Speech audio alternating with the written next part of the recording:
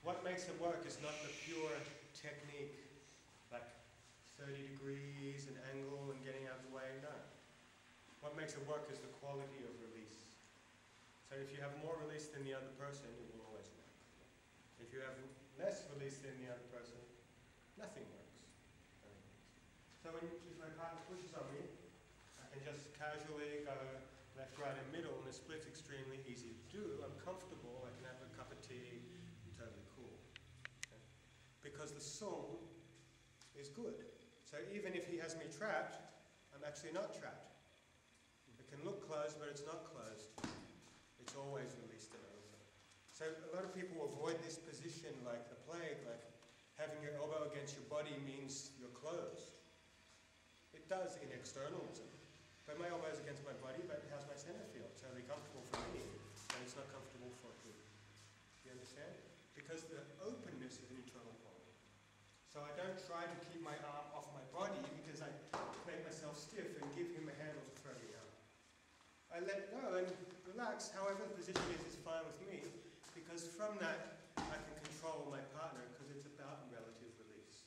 So the other side of the coin is if I'm doing the push and you're doing the split, if I don't have any song, we do it, we do the exercise, it's really easy for him to make the changes.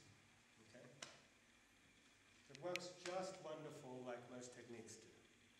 However, if my song is relatively high compared to his, his technique stops working. I don't need to use speed nor power, just be more released, and relative to me, he's going to feel stiff, bound up, and uncomfortable. So I do exactly the same thing, just more song and don't use any power hmm.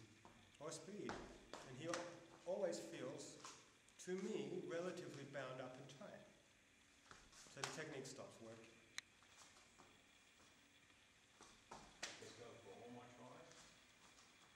What's? Yes, it's a universal law.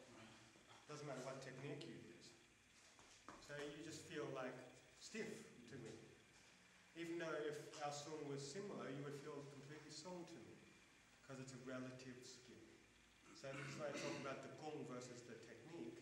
You need technique. Techniques are a technical answer like winning a chess game. But if you have more inner skill, more nei gong, then the technique doesn't work on.